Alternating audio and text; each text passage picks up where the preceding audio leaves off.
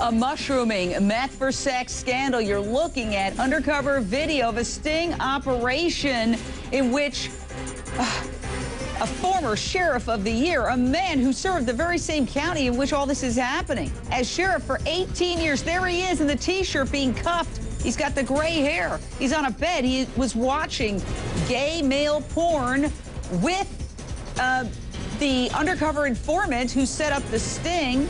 And that other person whose face is blurred says he has done meth with the former sheriff many, many, many times in return for sex. Now, unbelievable. And even though Pat Sullivan's arrest came a full decade after he retired as sheriff, you got to wonder, I think the big question, was Patrick Sullivan ever high on meth back when he was the sheriff of this county?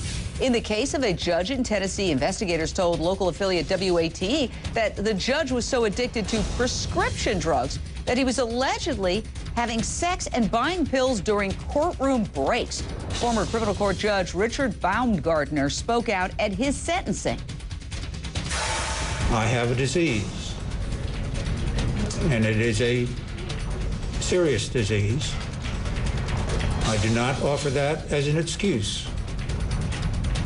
I take uh, absolute and full responsibility for my conduct.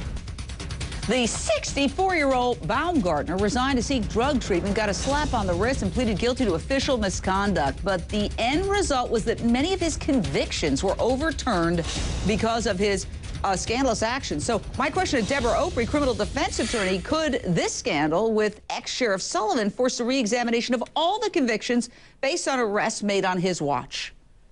Yes, absolutely. Under habeas corpus, you'll have far-reaching consequences if the various cases, over a thousand in his courtroom alone, because uh, there are only three sitting judges for the felony cases, for the criminal cases. Uh, this is far-reaching, Jane, because if you look at his conduct, and this is, again, the dirty little secrets of the people who sit with power and control and the trust of the community, tell me, Tell me, where does it end when they start unraveling these judges' lives? If you look at this one judge, how many more across our country, and what kind of trust will be shaken by the people, including attorneys, of our judicial system? It's troubling. Bruce McCain, back to John. Debra, Opri. Well, I'm telling you, you have to go back to the sentencing guidelines of the amount of the drugs in the possession. As far as I was laughing about your late 60s comment, I'm married to somebody who's 65, and I can tell you point blank, uh, everybody has demons, but maybe they've been around so long they didn't think they were getting caught. Good, good for me, I've got a good husband.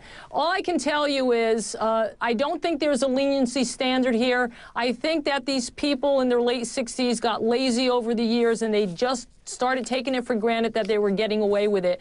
As far as and that uh, I, sheriff in Colorado. Let ahead. me go back to John.